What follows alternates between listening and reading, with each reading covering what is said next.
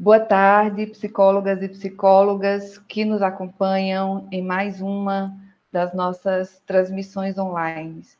Eu sou Ana Sandra Fernandes, sou psicóloga e atualmente presidente do Conselho Federal de Psicologia. É, nós vivemos esse momento bem difícil, né, onde a pandemia do novo coronavírus tem sido o assunto mais comentado dos últimos dias. E, naturalmente, não é para menos. Até o início dessa segunda-feira, hoje, dia 23, o Brasil já havia registrado, segundo informações das secretarias estaduais de saúde, 1.620 casos confirmados em 26 estados e no, no Distrito Federal. Esse cenário, ele tem exigido das autoridades competentes e da população brasileira uma série de cuidados e medidas para evitar tanto a exposição quanto a contaminação pelo coronavírus. E, obviamente, isso tem gerado diversas consequências nos campos econômico, político, social, cultural e também em todas as relações, as nossas relações e nas relações internacionais que o Brasil mantém. Mas existem ainda questões muito fundamentais relacionadas ao direito à saúde e à assistência social. Na última live, nós tivemos várias pessoas nos perguntando sobre isso. Temos recebido muitas demandas na nossa ouvidoria, e é exatamente sobre isso que queremos abordar nessa edição do nosso programa de hoje. O diálogo digital de hoje vai colocar em discussão a importância da psicologia e da atuação de psicólogas e psicólogos no âmbito das políticas públicas de saúde e de assistência social no contexto da pandemia do novo coronavírus. O CFP é, vem desde o início e, considerando a gravidade da situação, vem se posicionando no sentido de garantir as condições para que os profissionais e as profissionais de psicologia possam atuar de forma segura diante da atual crise epidemiológica inaugurada no país. Temos a compreensão de que uma das principais formas de contornar a crise é evitar sair de casa, assim como evitar aglomerações e contatos desnecessários com outras pessoas. Essa tem sido a recomendação mais é, proeminente das, das é, autoridades de saúde. Mas nós temos plena consciência também de que inúmeras atividades da rotina de trabalhos das profissionais da psicologia, tantas outras profissões, mas aqui destacar, sobretudo, uh, os profissionais da psicologia, sobretudo aquelas e aqueles que atuam diretamente nas políticas públicas de saúde e assistência social, a gente tem consciência que esses trabalhos eles não podem ser paralisados, porque isso agravaria ainda mais a condição das pessoas que historicamente são as mais vulnerabilizadas em nossa sociedade. É por isso que precisamos discutir as maneiras de proteger as psicólogas e psicólogos em todo o país, compreendendo seu papel estratégico, inclusive de levar as informações e orientações mais adequadas a seus territórios é, de atuação. Em respeito às recomendações expedidas pelas autoridades competentes, entre elas a Organização Mundial de Saúde e o próprio Ministério da Saúde, o debate de hoje será realizado é, como já foi da semana passada, é, de forma virtual. Vocês estão acostumados com os nossos debates online, onde a gente faz esse debate, transmite online, mas ele se, se é, realiza fisicamente nas instala instalações do, do, Conselho Federal de Psicologia. É, hoje, é, como todos vocês sabem, é, não é possível que essa transmissão seja feita online, seja feita presencialmente, aí é por isso que todos nós estamos falando a partir das nossas casas, obedecendo a recomendação de ficar em casa. É, e aí eu queria dar algumas notícias para vocês e também apresentar para vocês duas conselheiras nossas do Conselho Federal de Psicologia que estão aqui hoje para conversar com a categoria. Nós recebemos muito, muitas perguntas. É, fiquei muito impressionada com a, com a quantidade de perguntas de, de profissionais que foram se colocando é, a partir do momento que a gente divulgou que essa live aconteceria. Então, é, eu vou fazer brevemente alguns informes, porque, por exemplo, nós tivemos uma série de perguntas sobre é, o que que, a, como é que vai ser resolvido, o que que a gente está fazendo com relação às psicólogas e psicólogos no que se refere aos atendimentos em função é, da liberação desses atendimentos pelos planos de saúde. Nós temos algumas perguntas, várias perguntas sobre essa questão, e aí eu queria já é, inicialmente informar para vocês que nós estamos é, em contato já desde a semana passada, é, temos reuniões já marcadas com as autoridades competentes para discutir a questão dos planos de saúde. É, hoje nós fizemos uma, uma, um contato, uma reunião com a União Nacional das, das Instituições de Autogestão em Saúde, é, no sentido de, de, de articular e, e, e, ver como que vai ficar esse processo para que a gente possa, é, na medida do que for possível, fazendo essa articulação para que essa liberação para os atendimentos é, online em psicologia possam ser autorizados pelos convênios de saúde. Então, queria dar esse informe de que nós estamos é, trabalhando nesse, nessa temática e que tão logo a gente tenha uma posição mais efetivada com as respostas, com tudo, com as orientações e os encaminhamentos, nós estaremos nos dirigindo a todos vocês para fazer essa informação e, em consequência, fazer essa orientação.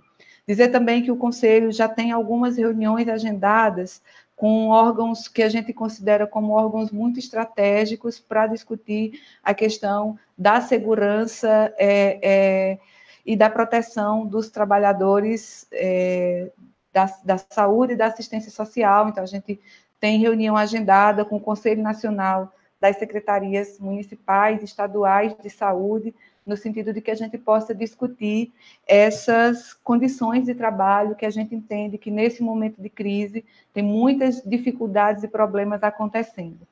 Bom, durante a live eu vou tentando atualizar vocês. Nós também estamos em diálogo com o Ministério da Saúde, acho que logo logo nós também vamos nos dirigir à categoria para fazer informação e orientação sobre algumas ações que o Ministério da Saúde tem também nos acionado, mas queria fazer, ir fazendo isso pausada, pausadamente à medida que essas ações elas estiverem efetivamente concretizadas. Então, eu estou aqui hoje é, de longe, mas de muito perto, com duas é, grandes parceiras de trabalho, né? São conselheiras também do Conselho Federal de Psicologia e foram convidadas para essa live por um motivo é, é também muito especial, e aí eu já vou apresentar a vocês a, a nossa querida conselheira Célia Zenaide, ela é conselheira federal, ela é trabalhadora do SUAS, e aí depois, quando eu passar a palavra para a Célia, eu queria pedir para que ela pudesse se apresentar melhor, dizer onde é que ela trabalha, porque eu acho que nesse momento o lugar da prática ele é muito importante para que a gente possa trazer essas informações para a nossa categoria. E temos também a nossa conselheira, conselheira Marisa Helena, que ela é nossa representante no Conselho Nacional de Saúde e em função de ser a representação do Conselho Federal de Psicologia no Conselho Nacional de Saúde, é também a pessoa que preside no Conselho Nacional de Saúde é, a Comissão Intersetorial de Saúde Mental. Então, Acho que é muito importante a presença de vocês nesse momento.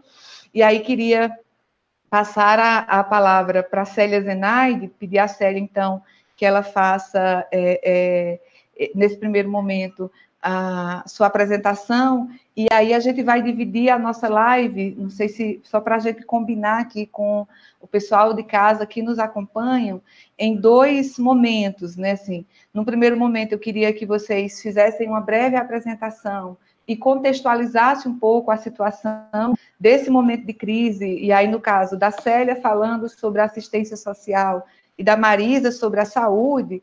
E no segundo momento, eu queria tentar fazer junto com vocês é, um compilado, são muitas e muitas perguntas, mas um compilado das perguntas que têm nos chegado, para que vocês possam nos ajudar a, a responder à categoria é, esses questionamentos. Dizer às psicólogas e psicólogos que nos acompanham que nós continuamos, estamos sempre muito atentos a, a todo o processo que vocês fazem de nos acionarem. Célia, estou passando para você. É, seja bem-vinda, muito obrigada. Eu sei que você já trabalhou hoje, a gente se falou mais cedo e você estava no trabalho, e eu falava assim, Célia, cuidado, se protege, cuida da sua saúde, e você deu uma pausa aí no seu trabalho para poder estar com a gente nesse momento. Por favor, Célia. Isso. É, boa tarde, Ana, Marisa e pessoas que nos ouvem, é, nos assistem. É, como Ana disse, eu sou Célia Zenaide, eu sou trabalhadora do SUAS, trabalho na média complexidade na cidade de Campinas, São Paulo, e muito dos questionamentos que têm chego né, para nós do Conselho Federal de Psicologia é o que eu tenho vivenciado na prática. Então, a proposta aqui é a gente dialogar um pouco sobre essas questões que tem chegado para a gente, e aí é, dialogar um pouco com você, psicóloga e psicólogo, que está aí na prática da assistência social. É, a Ana pede para a gente contextualizar um pouco sobre o SUAS. Então, é, o que eu tenho visto, acompanhado na nossa fanpage, nas nossas redes sociais, é uma angústia tremenda, dado que é, as autoridades têm falado bastante das questões da saúde, dos trabalhadores da saúde né, e das trabalhadoras, mas para nós, um, o documento que ficou mais evidenciado saiu apenas na sexta-feira, na última sexta, que é o, o decreto 10282, que aí vai dizer dos serviços essenciais e coloca a assistência social como um, um serviço essencial. Estou é, dizendo tudo isso porque os questionamentos que chegam para a gente é referente. Eu, eu, continuo trabalhando no CRAS, eu continuo trabalhando no CREAS, né? E aí não vou falar dos serviços, mas na, na, na básica, na média e na alta complexidade, é, quais são as orientações, o que, que a gente pode fazer, e aí, é, dado é, esse, esse documento que sai, né, esse decreto, de que sim, a assistência social é, faz parte dos serviços essenciais, é, a gente vem dialogar com vocês muito no sentido do que a Ana já dialogou na semana passada, é, de que esses serviços, sim, são essenciais, está aí posto, mas que nós consigamos avaliar e diferenciar o emergencial do eletivo. Né? Então, é, a, a, a, realidade brasileira da, da assistência social é bastante diversa, então a gente tem os municípios de pequeno, médio e grande porte. Os de grande porte têm uma realidade bastante diferenciada com relação aos de pequeno porte, então não dá para a gente também é, descrever ou discorrer sobre todos os serviços que, que, que existem, né, estão lá preconizados na PNAS. Mas é, que sim, né, é, é, os municípios contemplam essa política e como que a gente vai lidar com isso.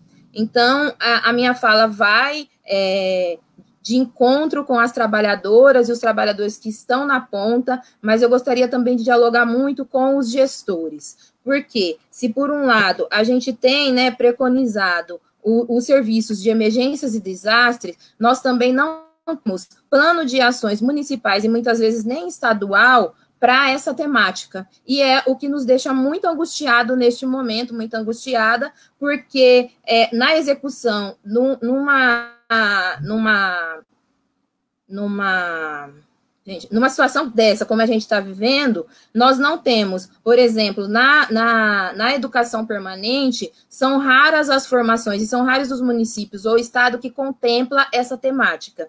E aí, se por um lado a saúde tem lá o seu, o seu plano de contingência e protocolos, nós da assistência não temos. E aí, é, gostaria de, de dialogar muito com vocês nesse sentido. Talvez a angústia venha muito daí. E aí, este é um momento de a gente é, tentar dialogar com a gestão e vocês gestores, né, que são também são trabalhadoras e trabalhadores, é, que ouçam as equipes e que estejam mais próximo para que esse plano seja feita da, da melhor forma possível, da, da forma que nesse momento é possível, mas que não deixe para depois, quando é, essa crise vai passar, né? Uma hora ela vai precisar passar, é, para a gente precisar viver momentos não como esse, mas semelhante a este, para é, escrever seus planos de ações aí, ou de, de, de, de, promover formações referente a emergências e desastres. Bom, é, a Ana já disse um pouco o contexto nacional, e aí o que a gente espera né, para os próximos dias, né, é que a, a, o corona, né, o, o, o Covid, é, nossa, o Covid-19, ele passe da, do, dos, da concentração da, da, da média e da enfim, do poder econômico médio, médio e alto para as populações mais de baixa renda. E aí é, é isso que a gente teme neste momento, porque se por um lado é, as populações mais ricas estão é, em, em, em, densidade demográfica, demográfica mais afastadas, as favelas, a comunidade e, e a periferia não está. Então está com com, com a densidade demográfica mais, mais, mais alta, né, que é, é menor a, a, distanciamento, e também o alto número de pessoas, e isso é uma preocupação nossa, e isso atinge diretamente a população do SUAS, porque quem é trabalhador e trabalhadora sabe que a gente lida muito com essa população. Eu acho que é um contexto mais geral, e aí depois a gente dialoga um pouquinho mais nas perguntas. Obrigada, Célia. Então, é, nós estamos organizando aqui a, a, um conjunto de perguntas que está chegando. No segundo bloco, a gente começa fazendo as perguntas, e aí eu queria imediatamente a, a palavra para a nossa conselheira Marisa Helena, fazendo a mesma solicitação, Marisa, que você fale um pouco mais sobre esses espaços de atuação onde você está e que você possa contextualizar um pouco é, esse momento dentro de uma perspectiva de saúde. Boa tarde a todos e todas, psicólogos, as psicólogas, as pessoas que nos veem nesse momento.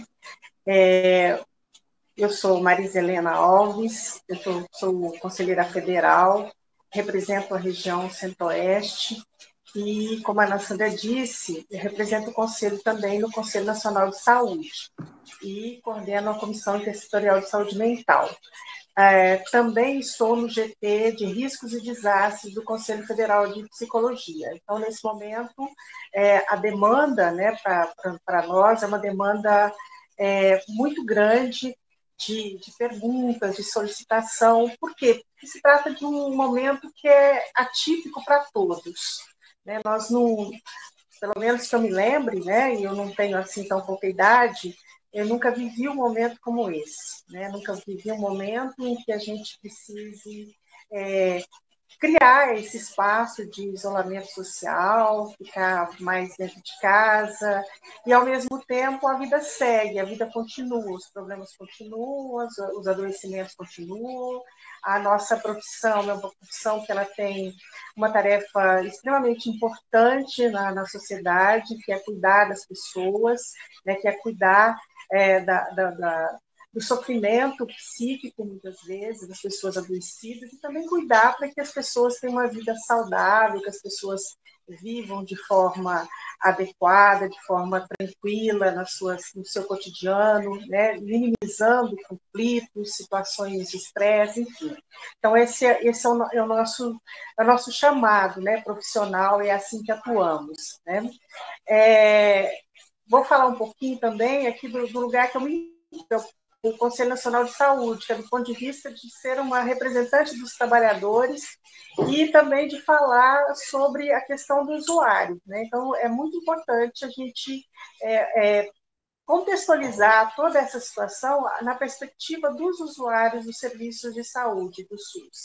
Então, a gente entende da importância, principalmente do Estado neste momento, né, que a atuação do Estado nas situações como essa, e eu vou dizer que essa é uma situação de desastre, porque se trata de uma pandemia em nível mundial, e que, diante da, da, da, da situação ser uma situação atípica, ela, ela nos pega a todos é, sem muitas respostas àquilo que vai surgindo no cotidiano.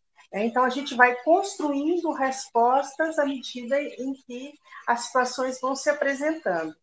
E a saúde, né, a política pública de saúde, ela tem, nesse momento, um protagonismo fundamental. Quer dizer, os trabalhadores de saúde, é, o Sistema Único de Saúde é que vai dar o atendimento, a resposta a esse momento é, de desastre que estamos vivendo.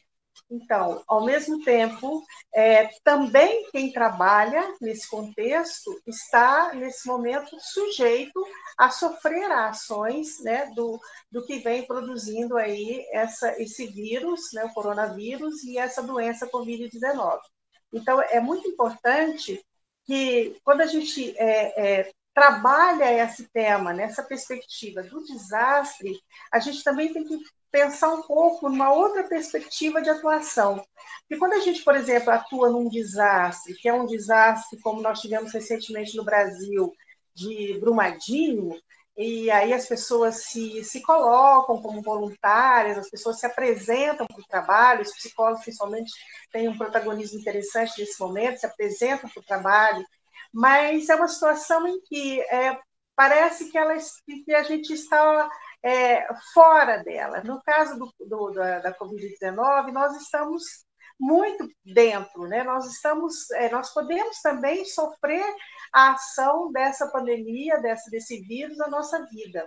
Então, é, nós não saímos é, para trabalhar, né? Nós e depois voltamos e ficou lá fora o problema. Não, o problema pode vir junto conosco. Então a gente precisa tomar uma série de medidas, uma série de, de precauções com relação a isso. Então, é natural que nós que atuamos na saúde também é, fiquemos preocupados com a nossa saúde. E é o momento também da gente pensar né, em como se proteger nesse contexto em que estamos inseridos neste momento. Né? Então, é preciso, é necessário cuidar é, da instabilidade psíquica que está ocorrendo na população em geral, mas é preciso também o cuidado né, de mim e do meu entorno. E é sobre isso que nós queremos falar hoje. Eu acho que a gente recebeu já inúmeras perguntas sobre isso, é, os serviços que funcionam, que não funcionam, enfim. Eu, eu acredito que a gente, ao responder as perguntas, a gente possa é, trabalhar um pouco mais essa questão né, da atuação, né, inclusive dos limites éticos da atuação em situação de desastre. Vamos tentar também é, dialogar sobre isso, lembrando que muitas respostas, né, as pessoas às vezes querem respostas tipo receita de bolo, para isso faça aquilo. É, o momento ele não tem é, nos proporcionado nem o tempo para fazer as discussões, para a gente chegar às conclusões do que é mais favorável ou menos favorável neste momento. Então, é um trabalho de construção. E a gente está aqui exatamente para fazer esse diálogo, na tentativa de tentar construir respostas, situações, é, é, é, modos de agir que minimize o sofrimento para todos. Ana. Ok, Marisa. É, então, eu queria só fazendo alguns informes, que aí eu acho que os informes já vão dando conta de algumas perguntas. O primeiro informe, a gente divulgou para vocês, é, é um informe de que nós criamos dentro do ambiente do Conselho, do site do Conselho Federal de Psicologia, um site específico só para abordar as questões desse momento em que a gente está vivendo esse processo de pandemia. Então, todas as psicólogas e psicólogos, a ideia é que a gente possa garantir um espaço onde vocês possam acessar essas informações de maneira mais condensada e, no máximo que a gente puder fazer, informações com segurança, com qualidade. Então, essa plataforma já está pronta, está funcionando. Obviamente que a gente tem, a, ela está passando por vários processos de melhoria. E nessa plataforma, as psicólogas e psicólogos elas vão ter uma área lá onde elas acessam é, todos os estados do Brasil, seus conselhos regionais em todos os estados do Brasil, para que possam saber, porque tem demandas que são específicas de determinadas regiões, e aí as psicólogas e psicólogos podem ficar atentos, porque a nossa ideia é fazer uma plataforma que possa congregar essas informações, não, não só que são de interesse da psicologia, não só do Conselho Federal, de todos os conselhos regionais de psicologia e de várias entidades da psicologia brasileira que também estão nesse momento se organizando, produzindo nota, produzindo orientação para as áreas onde cabe, produzindo protocolos. Então, é, é, queria deixar bem evidenciado é, o indicativo para que as psicólogas e os psicólogos pudessem acessar o nosso site, até porque numa live a gente não consegue dar conta de todas as perguntas. Queria, é, tem várias perguntas que nos chegaram com relação aos estágios, e aí eu queria só adiantar que nós vamos, é, vai estar saindo brevemente, é só, mas vai estar saindo uma nota da Associação Brasileira de Ensino em Psicologia, da BEP, que é uma nota em parceria com o Conselho Federal de Psicologia, uma nota é, orientando é, é algumas a, a, categoria como um todo e algumas questões que têm nos chegado com relação ao estágio. Bom, eu queria então direcionar para as nossas convidadas as perguntas, né? E aí é, vou fazendo a pergunta e vou direcionando aqui para que vocês possam responder.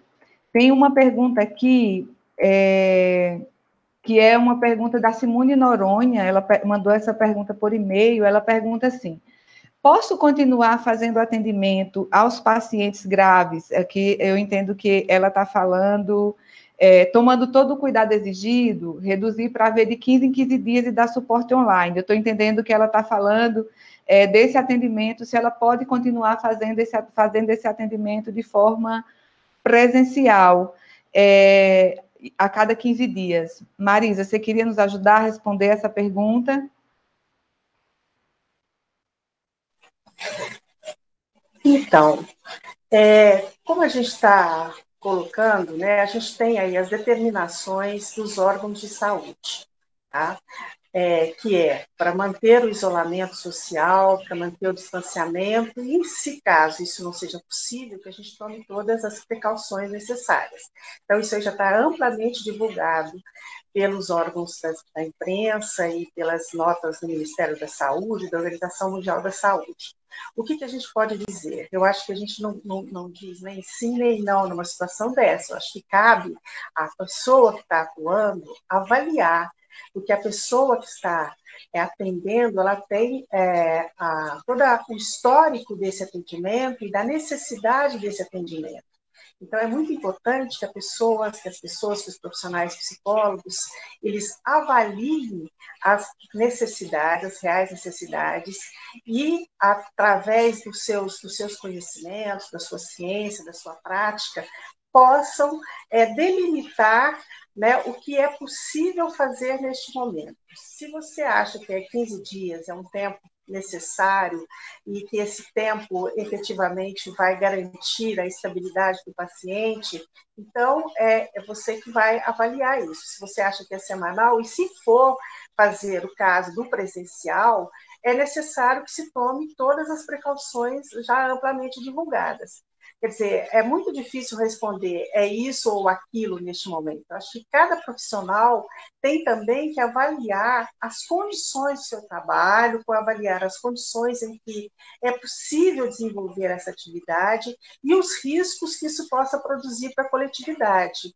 Nós estamos num momento em que é muito importante que a gente tenha o senso do coletivo.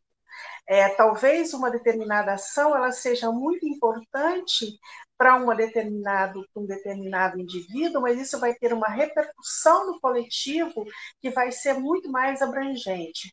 Então, esse, essa tranquilidade, esse bom senso, essa avaliação neste momento é imprescindível. Então, os profissionais precisam avaliar cada, cada caso, cada situação, é, cada realidade, né, não só do imediato, da necessidade imediata, mas das consequências que determinadas ações vão produzir. Ok, Marisa. Agora eu vou fazer uma pergunta para a Célia, que chegou para a gente aqui. É uma pergunta da Ádila. Ela diz que é psicóloga um, do CAPS AD, né, de uma região metropolitana, e diz que na cidade é, já registra casos de Covid-19, né? Mas no momento as atividades coletivas, bem como as visitas e atendimentos não essenciais, é, foram suspensos para evitar a circulação de pessoas na cidade.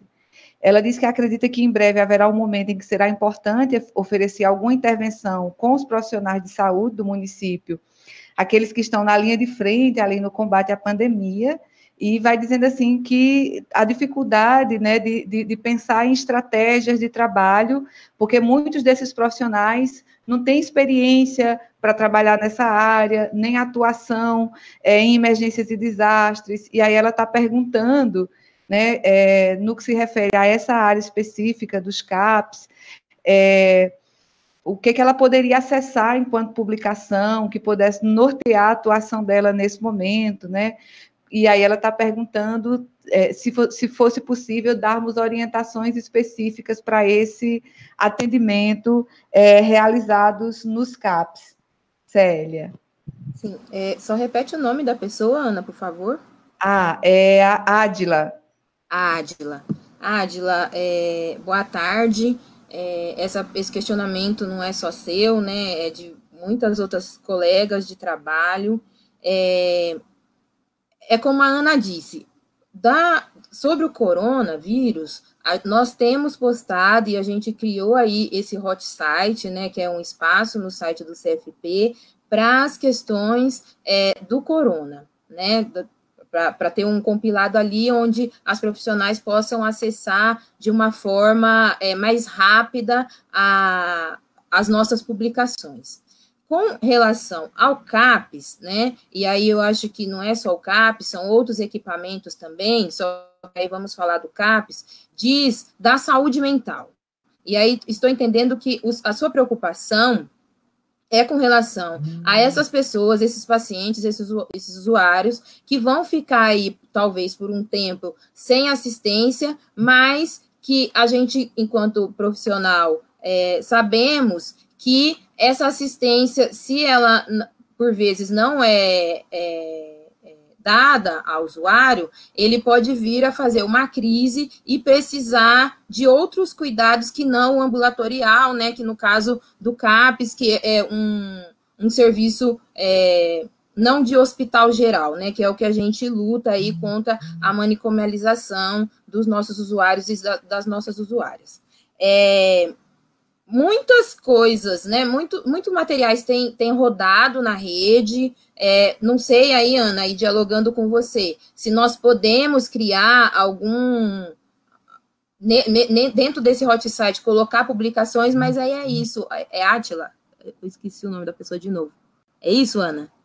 Isso. Isso. Átila, é, a gente sabe também que as profissionais da psicologia são muito diversas. Nós temos muitas linhas teóricas, muitas formas de trabalhar, e aí, por vezes, se a gente começa a colocar no, no site do CFP materiais, pode não contemplar todas, né? E todos. Então, neste momento, a gente está é, com esse foco do corona, e aí uma. Uma a orientação que a gente dá são a, a, as, as mais gerais, de que se ocorrer o atendimento, ocorra em local ventilado, com espaçamento. A gente sabe também que é, muitos desses pacientes estão aí, né? E nós também, por conta da nossa cultura, temos essa questão da aproximação, do toque, então tentar que isso não ocorra mas não deixar também de assistir aí a esses usuários e essas usuárias mais graves, ou que a gente vê que está, e, e aí em tempos de isolamento social, isso pode virar uma crise, mas aí, e, e, às vezes também tentar inovações. Eu sei que é bastante difícil falar disso, né, do atendimento é, mais virtual, não sei, talvez criar uma linha, sei que é muito difícil, compreendo, já estou dizendo isso, mas talvez tentar criar alguma forma aí de muita, muitas, muitos CAPs ficam dentro de um bairro ou atende uma região e os próprios usuários têm redes sociais e aí talvez é, é, estimular que eles se conversem, que eles se ajudem, né? É, nessa questão do isolamento social seja uma forma aí de, de evitar algumas crises. Ok, Célia. É, tem já uma pergunta também para você que eu vou fazer Sim. daqui a pouquinho, tá mas bom. só tem várias perguntas chegando, gente, falando, e aí eu vou dar mais um informe com relação à questão das anuidades, né? É, como é que vai ficar a questão das anuidades do sistema conselhos de psicologia? É, essa, essa questão ela foi amplamente discutida, a gente teve várias reuniões com o setor financeiro, contábil, e acredito que no máximo, no mais tardar até amanhã, vai ser emitida a resolução que vai permitir é, a prorrogação do vencimento dessas parcelas de anuidade. Como essa é uma ação de autonomia dos estados, né, o Conselho Federal ele faz a regulamentação geral, mas essas datas vão sendo reguladas pela autonomia de todos os estados.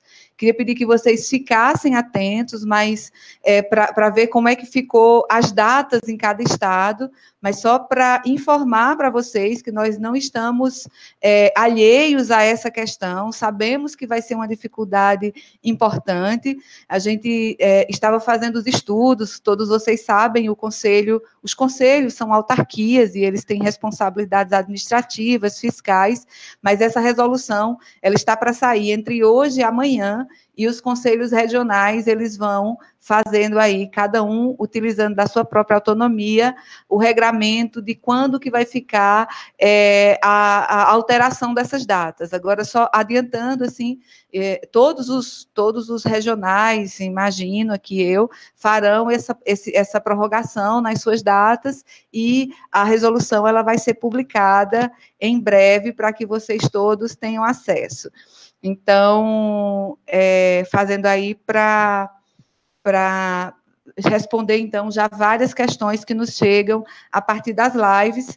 Ah, no máximo, amanhã está saindo, então, essa resolução que vai falar sobre esse adiamento, prorrogação do pagamento das anuidades.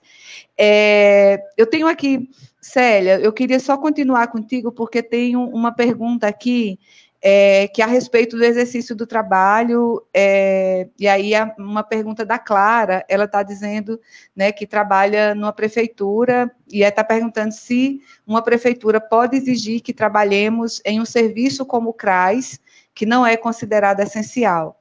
Ela diz que tem consultório particular, que os pacientes estão gripados de quarentena e que tem sentido uma pressão né, é, dos espaços onde ela trabalha e ela queria saber como é que a gente poderia é, orientar e encaminhar numa situação como essa. Sim, Clara, boa tarde. É, eu estou, vou aproveitar, né, para dialogar um pouco aqui com quem está escrevendo. A gente está tá falando aqui, mas eu estou tentando acompanhar aí os, os comentários. Isso é bastante difícil, né, dado ainda as nossas internets que não são tão boas, mas eu estou tentando é, acompanhar, e aí é, eu sei que talvez seja mais angustiante ou não, nós não daremos conta de, de responder todas as perguntas, mas estamos aqui tentando fazer esse diálogo com vocês para a gente tentar é, dialogar o máximo sobre os questionamentos que tem, no, no tem chego para a gente no, no CFP. É, e aí, Clara, é, é bastante delicado para nós do, do, CFP responder esse questionamento, porque é, o Brasil ele é muito extenso, né? Então, como eu disse já no início da minha fala, nós temos município de pequeno, de grande e de médio porte. Tem municípios que a, a assistência social ocorre quase que exclusivamente pelo CRAS. Então, por isso que o a nosso diálogo é com os gestores, né? Porque, assim, num município de grande porte, talvez a, essa autonomia, né, essa, essa, essa facilidade para é, isentar alguns trabalhadores do trabalho, né, de, de, de que vá ao seu trabalho, seja maior do que em outros municípios. E aí, de novo, nós vamos bater na tecla né? É, é necessário se avaliar dos serviços e do porte do município, quais são as, a real necessidade emergencial, né? Porque, assim, é, por exemplo, se por um lado, nos municípios de pequeno porte, nós temos esse question, essa questão, nos municípios de grande porte, nós temos a questão, e aí até dialogando aqui com alguém que eu não vou lembrar o nome, mas que colocou aqui, nós temos a questão dos locais que não tem ventilação, os equipamentos. As salas, a, o espaço de atendimento dos CRAS, e aí eu posso estender também aos equipamentos de saúde, não são esses espaços que propiciam este, este lugar. E aí, alguém aqui colocou, né? Não vou lembrar o nome. Tem a questão do sigilo. Sim, tem a questão do sigilo, né? Mas aí, que atendimento que elementos que a gente vai trabalhar nessa questão, se for ao ar livre, estou entendendo que a pessoa dialogou, tentou dialogar nesse aspecto, que a gente pode fazer que é, vai resguardar esse sigilo e que, mas que mesmo assim a gente vai propiciar, assim como a outra pessoa colocou, uma escuta e um acolhimento desses usuários, seja ele do SUS, seja ele do SUAS.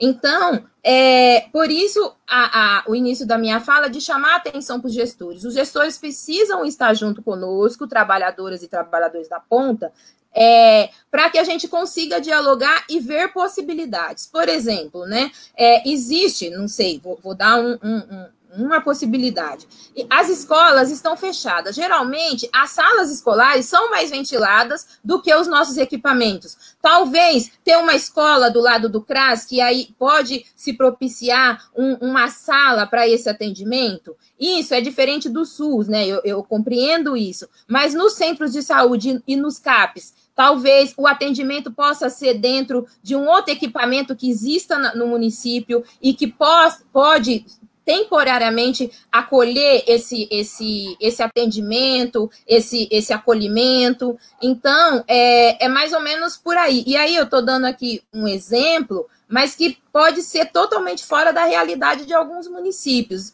Mas é na tentativa do diálogo da gente resguardar o sigilo, mas também é, pensar na nossa saúde, e aí, de novo, a minha fala vai para as gestoras e para os gestores de que, se de fato nós precisarmos fazer esse atendimento, que é, propicie a nós, né, não só o, o, os trabalhadores e as trabalhadoras do SUAS, mas as condições necessárias, né? A, alguém colocou aqui a questão dos EPIs, a questão do álcool gel, que nós também somos trabalhadoras, estamos aí, né, na, na, como serviço essencial, mas não estamos tendo, e aí foi o que eu disse lá na, no início, é, o, o, o, nós não temos plano de ação de, de emergências e desastre para assistência. E aí, nas emergências e nos desastres, é, e no caso desastre, que a Marisa já falou, nós temos essa questão do, do, dos EPIs, das condições de trabalho, das condições laborais propícias para o momento, e a gente precisa ter isso garantido. Oi, Célia, obrigada. É, queria, queria responder duas questões rapidinho, que também tem nos chegado bastante, é, para saber sobre o atendimento voluntário na internet, se o psicólogo pode fazer e tem uma pergunta, assim, do que, que o Conselho Federal acha disso, né? E aí, a Marisa pode falar em seguida, mas fazer brevemente, assim, nós colocamos no ar, acho que no sábado, uma nota orientativa para a categoria, né, sobre é, essa questão dos, dos serviços de atendimento gratuitos, e a gente tem recebido aí inúmeras informações e divulgação de sites de pessoas que estão oferecendo atendimento é, para esse momento de crise, né? Alguns falam de, de, que é um atendimento gratuito, enfim.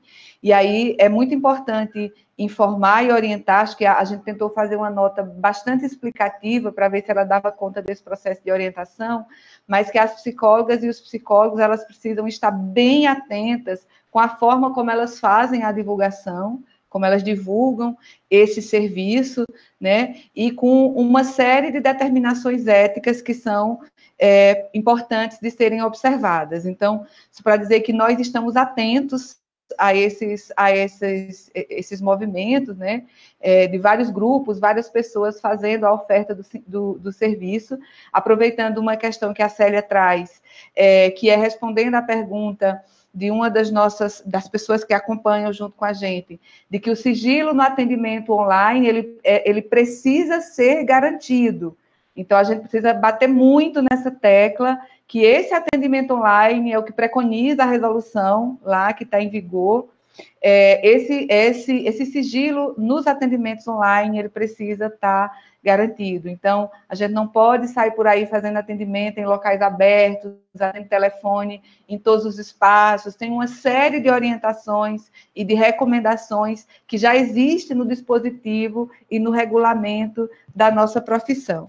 E a gente tem também uma série de perguntas sobre a questão da psicologia hospitalar, e aí nós estamos preparando, né, uma, uma, não só uma live especial sobre o tema da psicologia é, é, hospitalar, como um podcast, onde as pessoas vão poder é, acessar e efetivamente é, é, dialogar mais sobre, sobre é, essas questões mais específicas. Ou seja, nós estamos tentando correr para dar conta né, de, de todas essas demandas que têm nos chegado. E aí, eu queria, então, é, perguntar para a Marisa, que está lá na, nos, nos acompanhando, é, Marisa, como é que, que tem uma pergunta que chega para a gente, né? Como é que esse, é, esse atendimento online ele, ele pode ser feito é, nos serviços como o CAPS, como serviços de atendimento é, direto à população, se esse atendimento é possível, de que forma ele seria possível, enfim, para que você converse um pouquinho mais conosco sobre isso. Então, é, o atendimento online ele já está regulamentado e não houve mudanças, né? Porque assim, na verdade, nesses momentos em que a gente passa por situações adversas, é, a gente não pode perder de vista que as coisas já estão legisladas e que o que é, é certo fazer já está posto. Né? Nós, o nosso código de ética ele não está num estado de exceção nesse momento, né? ele continua valendo com todas as suas regras, as nossas resoluções continuam valendo. O que a gente está fazendo é administrar o momento em função de ser um fato diferente do nosso cotidiano. Então, é, por isso que na primeira resposta eu chamei muita atenção para a questão do bom senso, né, da gente ter a capacidade de não entrar né, no movimento do momento, do desespero, do pânico e querer resolver a situação do mundo numa canetada só ou numa pancada só. Né? A gente tem é, ainda muitas coisas virão, nós estamos no início, né? e, a, e as, o que tem o que está posto aí pelos órgãos da saúde, que a situação pode é, ficar é, mais tensa do que ela está nesse momento, em função até do que a gente está vendo que já está ocorrendo em outros países. Tá? Então, eu acho que nesse momento a gente tem que lembrar sempre que a gente já tem né, os, nossos, os nossos códigos, os nossos acordos, as nossas referências técnicas, é, as nossas resoluções, o código de ética para nos orientar neste momento. Tem uma questão aí que surgiu agora que a Célia traz, que é a questão do sigilo. A gente lembra que é, hoje nós já temos um movimento de escuta das populações nas praças. Então, a psicanálise na rua, por exemplo, dá como exemplo isso, né, faz um atendimento na praça pública. Aí, aí, como é que é isso? Então, o sigilo é obrigação do psicólogo. O psicólogo tem sim que resguardar as informações que chegam até ele. Agora, a pessoa, ela vai dizer para você se ela pode falar o que ela está precisando naquele ambiente que você está propondo. Se você, por exemplo, não tem a sala com, com ventilação adequada e fala, vamos, vamos conversar lá fora, no espaço aberto, debaixo da mangueira, se a pessoa e explicar para ela como que vai ser esse atendimento, como vai ser essa acolhida, essa escuta, e a pessoa aceitar, né, o sigilo continua valendo aí. Só que esse sigilo é o profissional que tem que resguardar por ele. Quer dizer, se a pessoa, de repente, começar a falar alto e todo mundo escutar, enfim, é, essas coisas são acordadas antes né, com as pessoas que vão ser atendidas. Então, isso tudo também já está preconizado nas nossas resoluções e nas, nossas normativas. Né? Marisa. Com relação. Oi. Só para só colocar mais coisas aí para você ir respondendo. É, tem uma pergunta que é que é, como que está sendo, se você poderia nos ajudar, como está sendo o funcionamento dos serviços de saúde não emergenciais nos municípios? Tem alguma informação, orientação? Alguma orientação específica ou experiência acontecendo com plantões psicológicos ou aconselhamento online no SUS? Né? E aí a pergunta, né? Como que a gente poderia viabilizar isso via Secretaria de Saúde, enfim? Enfim, eu acho que essa é uma conversa que a gente tem que fazer com gestores, né? É, a gente está também atuando nessa questão da emergência e desastre, a gente sabe que precisa, os estados, os municípios, precisa ter um, um grupo, um gerenciamento dessa crise e pensar nessas possibilidades. Né, nós estamos é, agindo à medida que as demandas estão chegando. Então, essa é uma demanda agora. A demanda online era uma demanda que já existia. Nós já temos até uma plataforma, o EPSI, enfim. Mas, neste momento, a demanda online, ela prevalece sobre outras demandas de atenção, sobre outras demandas de fazer esse contato com as pessoas que estão necessitando nesse momento. Então, se não tem isso ainda na rede, se não, não estava preconizado na rede, é hora de se pensar. E a gente pode utilizar os recursos que a gente tem. Então, nós temos muitos psicólogos que estão cadastrados, que podem fazer esse atendimento. Então, pode levar essas informações para os gestores e discutir e tentar viabilizar nos locais de trabalho a melhor forma de conduzir esse tipo de atendimento. Tá? Então, assim, é tudo, é, é muito novo para todo mundo. É possível? É. Tá? De que forma? Cada um vai ter que ver o seu potencial, inclusive de, de, capacidade técnica e preservando a questão ética, o sigilo, o que pode propor neste momento para garantir que as pessoas tenham acesso a essas informações, a esse atendimento, a essa acolhida, a essa escuta, para minimizar o sofrimento psíquico causado neste momento por conta do, da, da Covid-19.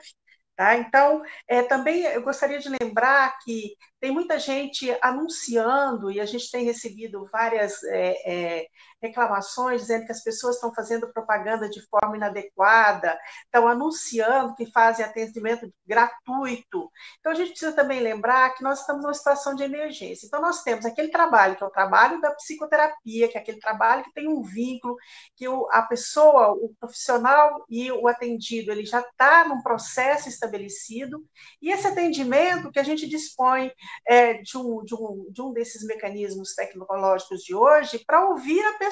Então, isso não caracteriza efetivamente uma psicoterapia, mas é o momento em que a pessoa liga, conversa, coloca as suas angústias, né? E se isso pode ser ofertado no, no anúncio dizer que é gratuito, né?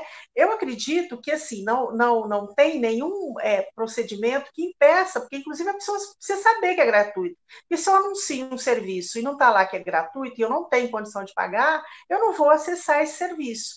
Então, essa gratuidade neste momento, ela está sendo, pode ser entendida como uma forma de dizer, olha, eu estou disponível para atender quem está necessitando atendimento nesse momento, entendendo que isso não é, é, um atendimento que vai ser da forma formalizado como atendimento em psicoterapia.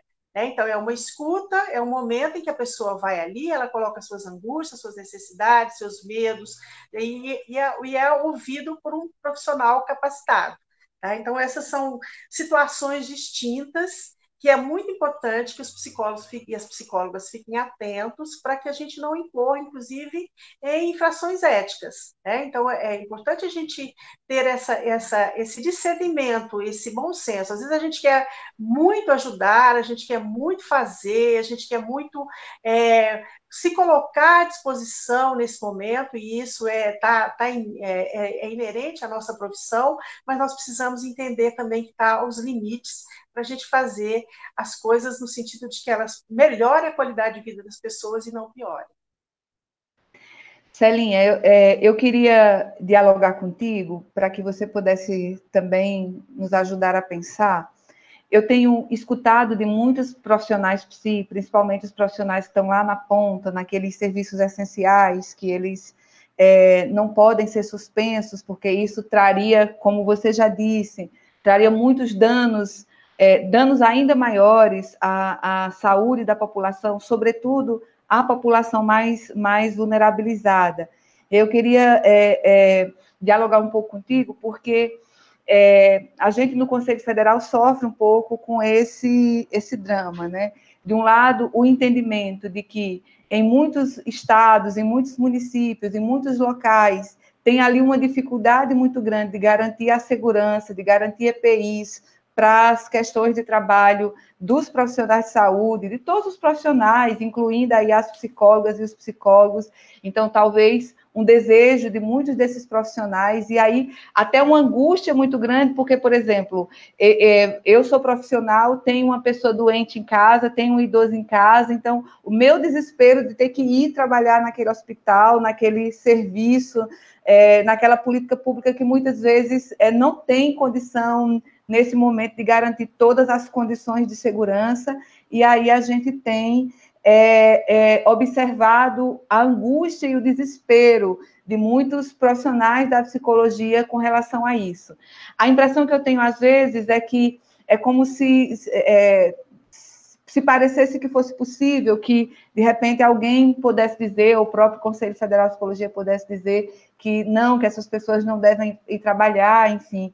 E aí eu sinto a angústia dos profissionais, dos trabalhadores, das trabalhadoras que estão lá, por outro lado, esses limites institucionais que nos atravessam, no sentido de que não é possível ao CFP determinar que os profissionais da psicologia se ausentem desses serviços, sobretudo os serviços que são considerados os serviços essenciais. E aí é, eu entendo que é, parece insuficiente, porque quem convive lá no dia a dia do serviço. É muito difícil a gente dizer assim, ó, nós estamos incansavelmente tentando acionar os gestores em reunião com os conselhos regionais. A gente tem pedido aos conselhos regionais que acionem localmente os seus estados, os seus municípios, na tentativa de garantir que nenhum profissional de saúde e, é, e, aí especificando as psicólogas, mas todos os profissionais de saúde, que nenhum profissional de saúde efetivamente seja exposto a um risco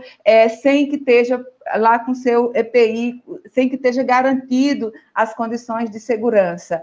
É, e, e aí nós também temos feito um apelo constante quando a gente fala sempre aos gestores, apelando aos gestores, apelando aos gestores, é muito no sentido de que parece que nesse momento é, é, algo que a gente precisa fazer mesmo, porque são os gestores que têm a competência, então, legal de poder alterar, de poder resolver isso, de fazer orientações específicas é, é, para que os gestores possam fazê-lo. Estou dizendo tudo isso um pouco para compartilhar a angústia que eu sinto, que vem dos profissionais para nós, e querendo que você faça e que você nos ajude a pensar um pouco sobre esses aspectos também. Sim, Ana. É, como eu disse, estou tentando aqui é, acompanhar né, as nossas falas, mas também acompanhar a, os questionamentos, alguns que estão surgindo aqui. É, então, é, um desses, desses questionamentos é, é, não tem um plano, então, de ação para este momento? É, estes planos de ação, eles são formulados, assim como eu disse no início da live, pelos municípios e pelo Estado, né? E pelo governo federal, que no caso é, não temos. Né? É isso, assim. Quais são os municípios que as emergências e os desastres estão contemplados na política do SUAS? Seja, e aí algumas pessoas foram falando, e, e, e, a alta complexidade, e a média, né? É, nós não, não vamos dar conta aqui de, de tudo, mas é isso, assim, é, é, é são pouquíssimos os municípios, eu tenho notícias, né? Enfim, é quase ínfima de municípios que preconizam é, as emergências e os desastres como a, a, deveria se preconizar né, e, e trabalhar um plano de ação para o município é, nesse quesito. E aí, é, é neste momento que a gente se angustia e muito é, quando a gente quando nos deparamos com uma situação dessas. Né? É, porque é isso. E não é uma missão, ou uma, como a Ana disse, né? Não é, é não é, não está na nossa governabilidade de fazer um plano de ação. Porque o plano de ação do SUAS, da política e do SUS, é dos municípios, do Estado, enfim, das, das três esferas, né? É, e aí, por isso que nos angustia. Aí alguém colocou, ai, mas agora é, no CRAS vai usar máscara, o que é EPI para o SUAS? Não estou dizendo que nós do, do, do, do SUAS vamos usar máscara. Eu estou dizendo que nesta situação, os gestores, e se tivesse um plano de, de, de ação para as emergências e para os desastres, muito provavelmente contemplando algumas. É, algumas, porque é isso, quando a gente faz um plano de ação também, a gente plana, é, planeja é, situações que, que, que muito é, é, é, passível do nosso território, né? Então, territórios que têm barragem vai pensar, vai traçar uma emergência de desastre, muito provavelmente para essa situação. Os territórios de seca vai traçar é, é, outros, outros planos de ação que, que, que, a gente imagina, porque não, há, há, três meses atrás, há, sei lá, seis meses atrás, nós não imaginávamos estar passando por uma pandemia né? Só que se, quando a gente tem um plano mínimo de ação para emergência e para o desastre, muito provavelmente isso contemplaria para profissional e para o profissional trabalhador e trabalhadora do SUAS um, um, um, um, plano. E neste plano, muito provavelmente contemplaria EPIs. Então, neste momento, nós estamos precisando disso, né? É, e aí, alguém colocou também, o CRAS não é terapêutico. Então, não é atendimento individual, sim, mas na política de assistência social e no CRAS, nós temos os benefícios eventuais, que muito provavelmente a população que começará a ser é, atingida pelo Covid-19 vai entrar nesse rol de, de, de, de necessidade dos benefícios eventuais. E aí, é, como que faremos? E aí, por isso que eu estou frisando, é, é questão para os gestores, porque são os gestores, junto com as trabalhadoras e trabalhadores da ponta, que vão traçar esse plano, se o CRAS ficará ou não aberto, se o CREAS, como que o CREAS vai funcionar, como que a alta complexidade vai funcionar, porque a gente tem aí os mais diversos serviços. Eu respondi um pouco, Ana, dialoguei um pouco, porque resposta às vezes a gente não tem também, a gente é, dialoga sobre. É, é de fato, é, acho que é, é, muito, é muito difícil e, de fato, resposta nós não temos. Nós, nós estamos num processo, efetivamente, de, de nos reinventar, de acolher tudo, todas as demandas, tudo aquilo que a categoria traz, que as pessoas tem nos trazido e, de que, e a gente vai tentando, na medida daquilo que nos é possível, né? Acho que um ator muito importante para essa discussão das questões de trabalho nesse momento são os próprios sindicatos, né, que têm uma competência legal de cuidar das condições de trabalho, das profissionais de todas as profissões, inclusive os profissionais de saúde. E aí eu acho que nós também temos, temos feito, é, é, estamos em contato com os sindicatos, no sentido de, de pensar em soluções e estratégias, entendendo os limites é, é institucionais do que do, do, da 5766, que organiza os conselhos de psicologia,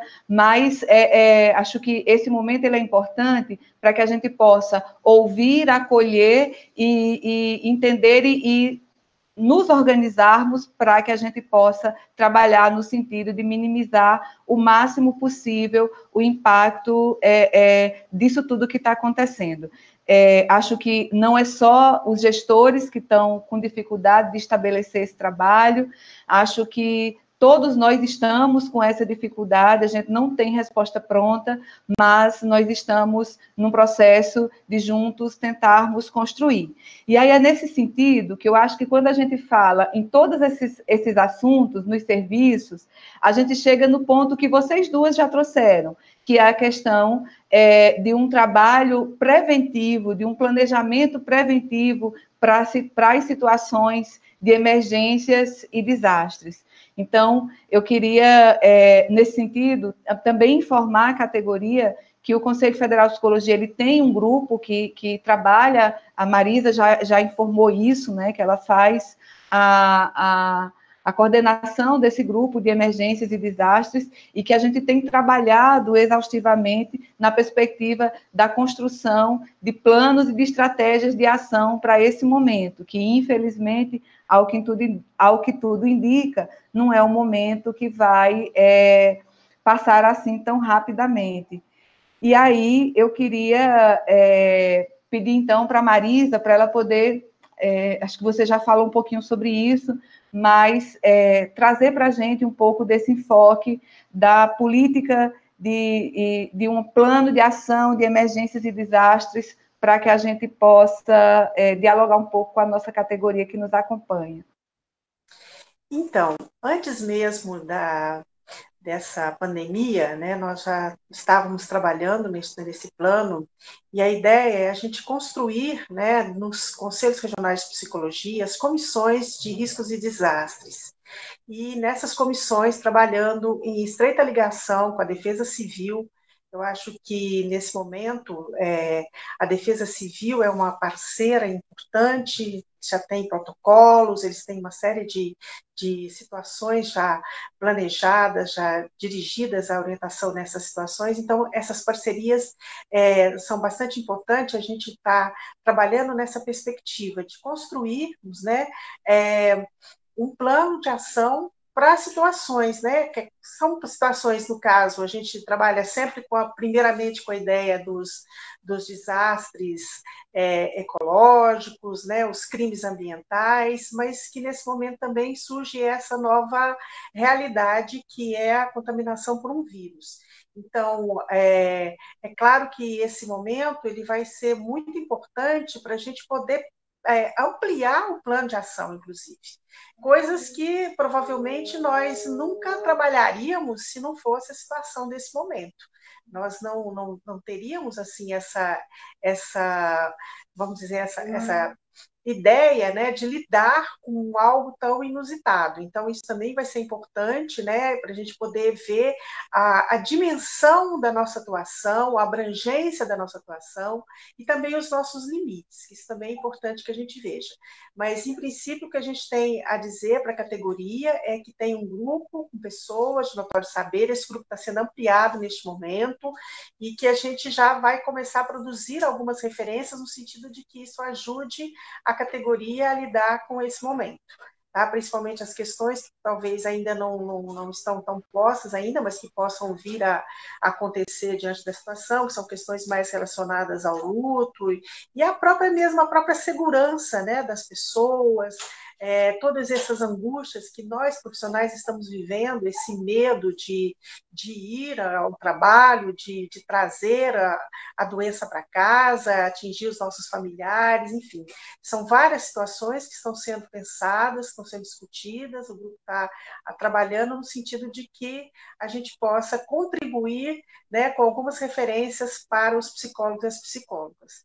É, é um momento muito muito difícil porque as respostas têm que ser muito rápidas, né? Então a gente conta aí com a, o apoio dos profissionais no sentido que também é, é, trabalhe né, junto conosco, nos demandando as suas questões, que isso ajuda a gente a pensar coletivamente é, na, na, na, possibilidade de respostas efetivas, de respostas que vão garantir um, uma certa tranquilidade para a população em geral e também para nós. Né? Então, é, é, isso que a gente está fazendo neste momento no GT de riscos e desastres. Uhum.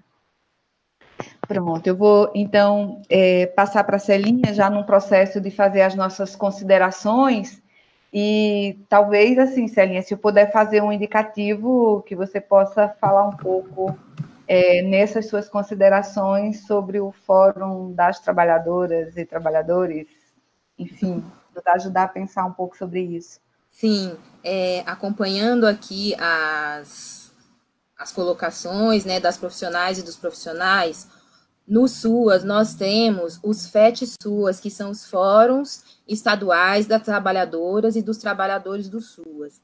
É, nós sabemos que não são todos os estados que têm esse espaço, mas uma grande parte tem é, este espaço é, de diálogo com a categoria, com, não é só com a categoria, né? Que aí a gente está lá com todas as categorias trabalhadoras e trabalhadores, também com o nível médio é, do SUAS. E aí, talvez fosse importante, é, nós sabemos da dificuldade, né? E eu, enquanto trabalhadora, entendo perfeitamente de se conversar com a gestão. Mas é importante, se tiver algum gestor e gestora aqui assistindo essa live, que se coloque à disposição para dialogar com as trabalhadoras e com os trabalhadores. Porque é neste momento que a gente vai conseguir minimamente dialogar para que o serviço do SUAS, né, para que a política do SUAS não pare, né, sendo ela aí essencial. Então, é, uma dica, talvez uma possibilidade, é é, se aproximar dos fóruns, tanto municipal quanto estadual, das trabalhadoras e dos trabalhadores do SUAS, tem região, né, que são pequenas, então tem os fóruns regionais, onde, com, com a força de outras trabalhadoras e de outros trabalhadores, vocês consigam é, fazer minimamente esse diálogo, porque é, é, nessa hora também que a gente precisa juntar força aí para conseguir minimamente trabalhar aí com o, um, um respaldo aí das nossas atividades laborais, e nesse caso, né, que eu estou vendo aqui várias colocações, a questão dos EPIs e até de diálogo mesmo. Aqui nesse município, é, o CRAS é essencial, vai ser essencial, tem outro serviço que pode executar, tem outras trabalhadoras e trabalhadores que pode executar, é nesse diálogo que muito provavelmente a gente vai conseguir aí é, alguns, algumas algumas situações, outras não, é, neste momento de, de pandemia. Obrigada, Celinha. Marina, pode fazer as suas considerações finais. Então, é, é muito importante né, a gente fazer essas trocas, né? Eu considero que nesse momento essa live ela vem nesse sentido da gente fazer o diálogo, da gente ouvir e da gente poder também falar um pouco o que a gente pensa, o que a gente está construindo a partir dessa escuta que a gente faz, né? É, também ressaltar né, a importância do, do diálogo com o gestor.